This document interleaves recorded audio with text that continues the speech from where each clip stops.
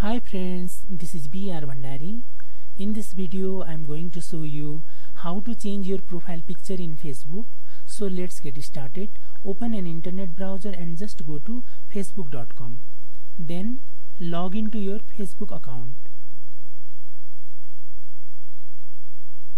Now click on your name which is located over here.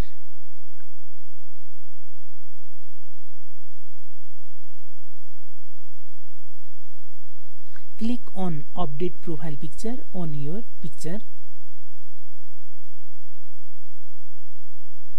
You have two options to upload your profile picture.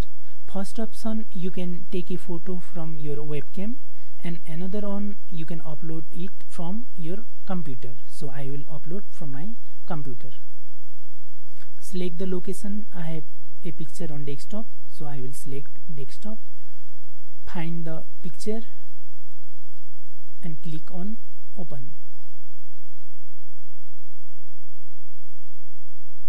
picture is uploading.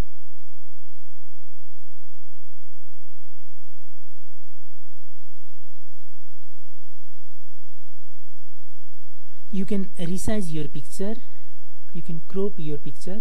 Once you're satisfied with your picture just click on crop and save